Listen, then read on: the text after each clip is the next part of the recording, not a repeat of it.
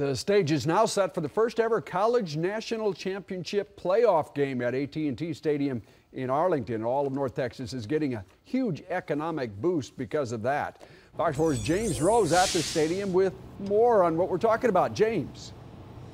You know, Richard, this is only college football, but yes, it is expected to have a huge Super Bowl type economic impact on North Texas with Arlington and Dallas getting the lion's share of that economic money spent here. And we can all thank the Oregon Ducks and Ohio State fans for their support of North Texas.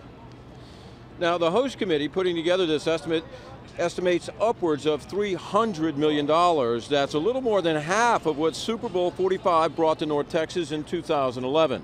The estimate takes into account all of the combined events like Fan Central at the Dallas Convention Center, the playlist at the American Airlines Center, and spending on hotels, dining, and memorabilia.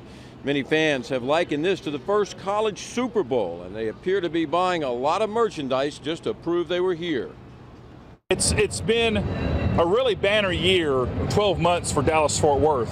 To have the Final Four here in April and to get the inaugural college football playoff championship game, I don't think any other city is going to be able to boast that in the future because the schedules just probably won't align that way. So it's a big tribute to everyone involved with AT&T Stadium, the local organizing committee members, to have two of the premier college football championships and basketball championships in Dallas Fort Worth within a 10-month time period.